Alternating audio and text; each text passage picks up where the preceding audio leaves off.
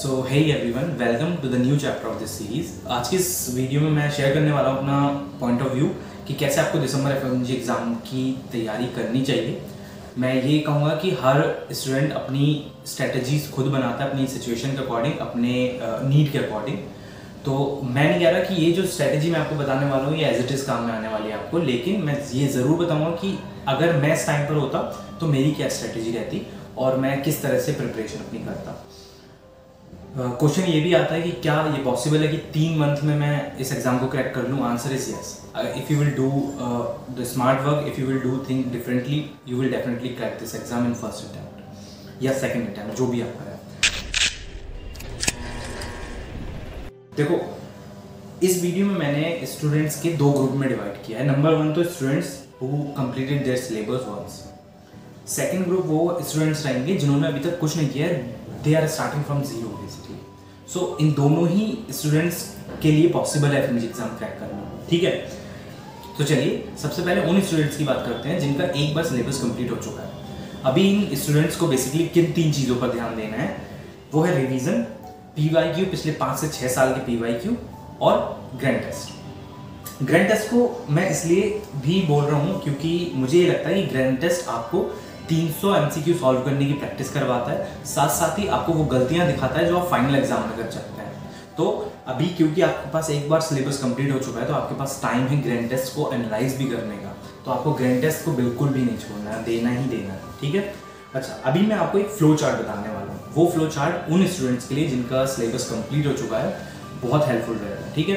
तो सबसे पहला ये है कि आपने अपना सिलेबस कंप्लीट कर लिया एक बार। अभी आपको पी वाई क्यू फ्लैशबैक्स देखने सो फ्लैशबैक क्या है बेसिकली तो अगर आप यूट्यूब पर फ्री में अवेलेबल है सबके लिए, अगर आप सर्च करेंगे यूट्यूब पर मेडिसन फ्लैशबैक या फिर फॉरेंसिक मेडिसन फ्लैशबैक आप किसी भी सब्जेक्ट का फ्लैशबैक को अगर आप सर्च करेंगे तो वहाँ पर पिछले पाँच साल के क्वेश्चंस की एक पर्टिकुलर वीडियो आएगी अच्छे टीचर्स के, जो अच्छे टीचर ने एक्सप्लेन किया। जैसे कि मेडिसिन के लिए डॉक्टर दीपक मारवा ने फ्लैशबैक बनाया।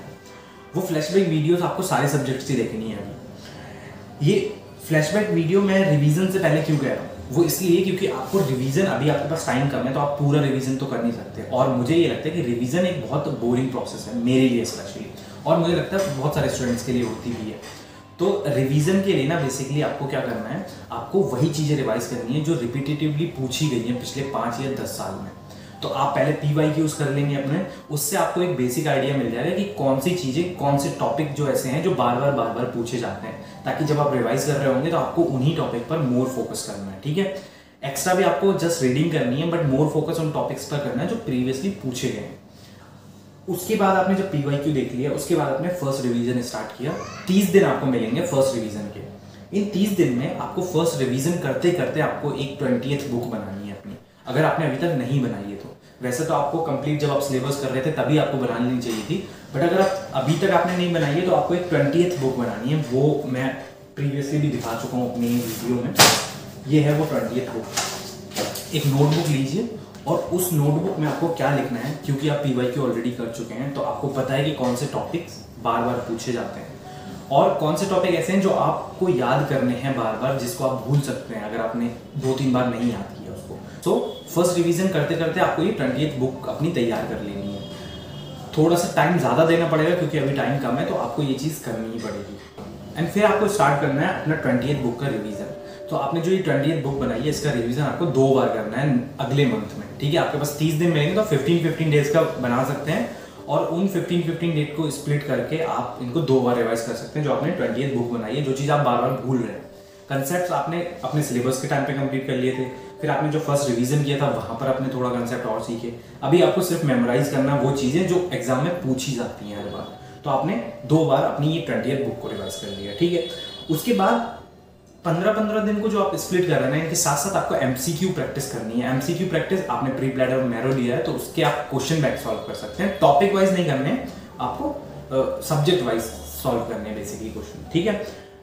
उसके बाद आपको क्या करना है कि आप अब आप ये सोचिए कि आप 30 दिन में लाइक डेली 50 क्वेश्चन भी अगर आप करते हैं तो 30 दिन में आप ऑलमोस्ट 1500 क्वेश्चन कर लेंगे। और 1500 क्वेश्चन की प्रैक्टिस आपको ये बता देगी कि एग्जामिनर एक्चुअल में क्या थॉट प्रोसेस के साथ अपना एग्ज़ाम बनाता है है ना? उसके बाद आप ग्रैंड टेस्ट देंगे। अब अब आपके पास लास्ट महीना बचा है, ठीक है? तो अब आप ग्रैंड टेस्ट देने वाले हैं। एटलीस्ट थ्री ग्रैंड आपको मैं कहूँगा, क्योंकि आपका कंप्लीट सिलेबस पहले ही हो चुका है। तो तीन ग्रैंड टेस्ट या चार ग्रैंड आप देंगे मैंने अपने टाइम पे मैं अगर आपको दिखाऊँ तो one two three four five six मैंने सिक्स ग्रैंड टेस्ट दिए थे।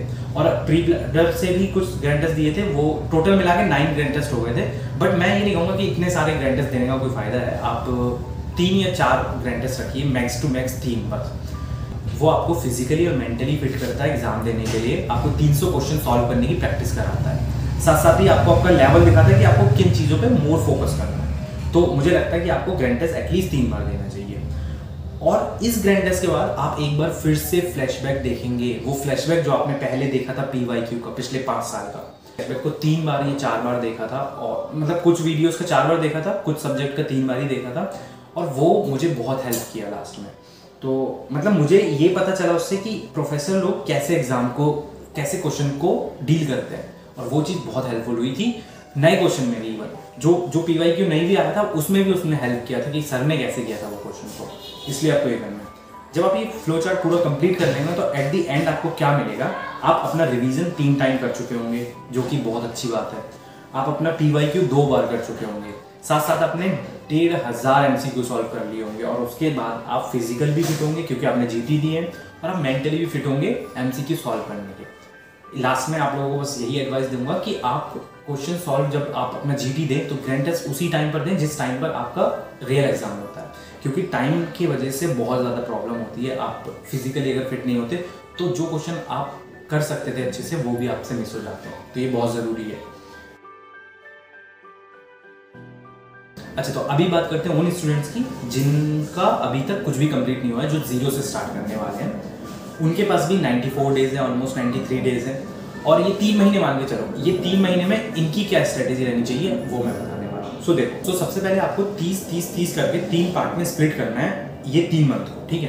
पहले तीस दिन में आपको क्या करना है, बहुत इंपॉर्टेंट जो आपके सब्जेक्ट्स हैं, वो आपको कवर करना है। टेन सब्जेक्ट ऐसे हैं जो हाईली इंपॉर्टेंट है, जो आपको करने ही करने क्योंकि अभी तक आपने कुछ नहीं किया तो आपको थोड़ा बहुत कॉम्प्रोमाइज तो करना पड़ेगा। वो सब्जेक्ट कौन कौन से हैं? वो सब्जेक्ट है anatomy physiology P S M forensic medicine biochemistry medicine surgery obs E N T and ophthalmology ये इतने इंपॉर्टेंट हैं कि आपको करने ही करने हैं रैपिड रिवीजन की वीडियोस से, ठीक है? तीस दिन के अंदर अंदर। इसके साथ साथ, अब ये तीस दिन में आप जब कर लेंगे, इसके साथ अब आपका जो नेक्स्ट थर्टी डेज़ आ आपको अगला महीना आ गया, आपने ये पूरा कर लिया, अब नेक्स्ट मंथ में आपको क्या करना है, आपको क्यू बैंक सॉल्व करने हैं। या फिर आप एफ़ एम जी सॉल्यूशन अगर आप लेंगे तो एफ़ एम जी सॉल्यूशन भी सॉल्व कर सकते हैं। उसके साथ साथ आपको ये जो जो सब्जेक्ट आपने किए हैं, इनको रिवाइज करना है, ठीक है? आपको लग रहा होगा कि पी वाई क्यू कहाँ गए हमारे टाइम पे? तो पी वाई क्यू मैं आपको बताऊँगा लास्ट का जो एक मंथ बचेगा ना आपका, उसमें आपको रिवीजन करना है, ये जो सब्जेक्ट आपने किए प्लस पी वाई क्यू करने हैं सारे सब्जेक्ट के। जो आपने सब्जेक्ट छोड़े भी हैं ना, उनके भी पी वाई क्यू आप मत छोड़ना। और जो पी वाई क्यू आप करने जा रहे हैं ना उनके हाईलाइटिंग पॉइंट आप एक छोटी सी नोटबुक पे कुछ पेजेस पर लिख कर जाना एग्ज़ाम वाले का आप छोटे छोटे हाईलाइट्स लिख कर जाना जो पी वाई क्यू में उन सब्जेक्ट्स के बताएँ जो आपने छोड़े हैं सब्जेक्ट इन दस के अलावा जो नौ सब्जेक्ट और छोड़े हैं आपने, वो आप कर लेना। जैसे आप एनेटमी से आप ऑर्थोपेडिक्स के क्वेश्चन के आंसर दे सकते हैं, इसीलिए मैंने वो इसमें इंक्लूड नहीं किया। बट ये दस सब्जेक्ट इस हाईली इंपॉर्टेंट आपको करने ही करने हैं। इसके साथ साथ आप पी वाई क्यू सॉल्व करेंगे, पिछले पाँच साल के वही फ्लैशबैक वीडियोस जो मैंने अभी बताया था। वो मैं आपको चाहे तो एक एग्ज़ाम्पल के लिए लिंक दिखा दूँगा अभी, या लिंक शेयर कर दूँगा एक वीडियो का तो आप वहाँ से पूरी सीरीज़ ले सकते हैं, हर सब्जेक्ट वाइज ठीक है? आपको रिवीजन करना है एंड पी वाई क्यू करना है। एंड आपको ग्रेंटेस देने हैं दो लास्ट के मंथ में। ग्रैंड टेस्ट क्यों देना है? क्योंकि आपको भी प्रैक्टिस करनी है 300 क्वेश्चन सॉल्व करने की। तो मैं कहूँगा कि आप ग्रैंड टेस्ट ज़रूर दें दो एटलीस्ट उनको एनालाइज ना भी करें बट एटलीस्ट आप दो ग्रैंड टेस्ट ज़रूर दें। जो क्वेश्चन आपको लगता है कि यार ये क्वेश्चन मैं समझ सकता हूँ और बहुत ईजी भी है। उसको आप पेपर पे लिख लें और उसको आप एनालाइज कर लें बाद में, अगर पूरा नहीं करना है तो। बट आप एक चीज़ को ज़रूर हाईलाइट कीजिए कि आपने जो सब्जेक्ट छोड़े हैं ना इन दस के अलावा, उनके पी वाई क्यू आपको करने ही करने हैं। पी वाई क्यू नहीं छोड़ना किसी भी सब्जेक्ट का। बाकी ये टेंथ सब्जेक्ट आपको ज़रूर से करने हैं रैपिड रिवीजन से करने ही करने हैं, ठीक है? रिवीजन कैसे करना है, मैं नेक्स्ट वीडियो में बताने वाला हूँ। रिवीजन आप कैसे कर सकते हैं और जीटी को एनालाइज कैसे कर तो रिवीजन एक बोरिंग काम है, इसलिए मैं बताऊँगा कैसे आप उसको सही तरीके से कर सकते हैं, जैसा मैंने किया था। ये इस तरह से आपको तीस तीस करके स्प्लिट कर लेना अपने तीन मंथ को। अच्छा लास्ट में आप अगर देखेंगे ना एट दी एंड अगर आपने ये सब फॉलो किया तो आप कहाँ तक पहुँच जाएँगे? आप इंपॉर्टेंट सब्जेक्ट कंप्लीट कर चुके होंगे, जो कि हाईली वेटेज रखते हैं एफएमजी एग्ज़ाम में। आप पी वाई क्यू सॉल्व कर चुके होंगे दो बार, ठीक है? पी वाई क्यू फ्लैशबैक की वीडियोस आप दो बार कर चुके होंगे प्लस अपने हाईलाइट्स बना चुके होंगे। उनको आप एग्ज़ाम वाले दिन रिवाइज करेंगे या एग्ज़ाम से एक दिन पहले रिवाइज करेंगे। और आप रिवीजन कर चुके होंगे अपने उन सब्जेक्ट्स के जो आपने 10 सब्जेक्ट्स के नोट टेकिंग किए थे। आप खुद से नोट टेकिंग कर सकते हैं या फिर प्री प्लेटर के नोट्स बाय भी कर सकते हैं। और ज़्यादा ईजी पड़ेगा। मैं कहूँगा खुद के नोट्स बनाएँगे, आप जल्दी थोड़ा ज़्यादा टाइम देकर दिन में थोड़ा ज़्यादा टाइम आपको देना पड़ेगा। बट ये तीन मंथ आपने अगर ज़्यादा टाइम दे दिया स्लीप को थोड़ा कम रखा, कोई दिक्कत नहीं है। लास्ट में एग्ज़ाम वाले एग्ज़ाम के दो तीन दिन पहले अच्छे से स्लीप ले लेना। अभी आपको ये चीज़ करना कैसे भी ज़रूरी है। मैं ये भी बता सकता हूँ कि आपको कौन से तरह से, किस तरह से वीडियो करनी है। जैसे फॉर एग्जांपल बायोकेमिस्ट्री के लिए डॉक्टर आज़म सर की तीन घंटे की वीडियो यूट्यूब पर है। मुझे लगता है एफ़ एग्ज़ाम के लिए मोर देन इनफ है। वो तीन घंटे की वीडियो आप बस उतना करके जाइए एज इट इज़ क्वेश्चन आ जाता है। मैं ये नहीं कहूँगा कि आप hundred percent biochemistry question solve कर पाएँगे बट एटलीस्ट आप बहुत हद तक आप बायोकेमिस्ट्री क्वेश्चन सॉल्व कर लेंगे। ऐसे ही अनेटमी का आप डॉक्टर राजेश कौशल सर से आप देख सकते हैं वीडियो पैथोलॉजी का प्रीति मैम हाईली रिकमेंडेड आप इजीली कर सकते हैं उनका एक्सपीरियंस मैं कहूँगा प्रीति मैम का एक एग्जांपल देता हूँ। प्रीति मैम ने हमें बताया था टी वाई क्यू के फ्लैशबैक्स में कि आ, अभी इस बार आपको ट्राइकोफाइटोन से एक क्वेश्चन आने वाला है।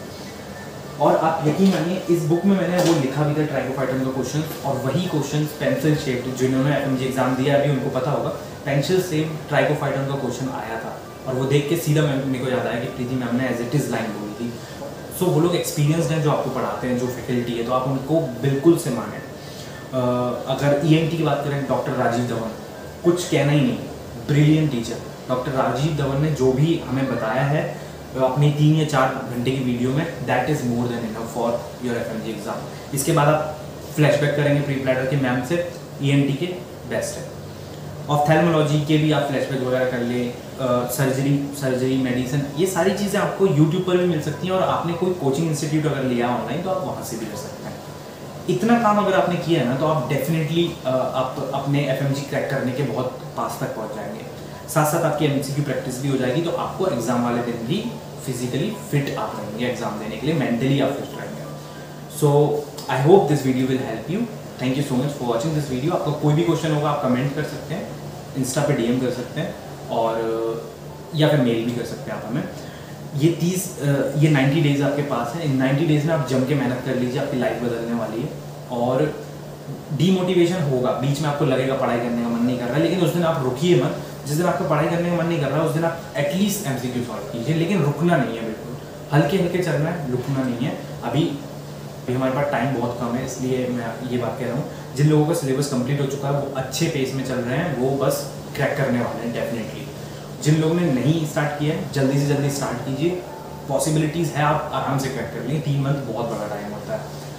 माइक्रोबायोलॉजी जो सब्जेक्ट्स मैंने छोड़े हैं इसमें, उनका आप पी वाई क्यू ज़रूर देख के जाइए। उनका आप रैपिड रिवीजन अगर यूट्यूब से आपको मिले एक दो घंटे का तो आप ज़रूर देख के जाइए।